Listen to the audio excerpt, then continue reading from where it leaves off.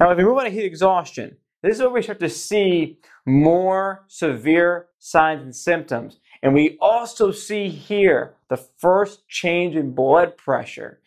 If I can tell you two things about heat exhaustion, it's this orthostatic hypotension. You notice that.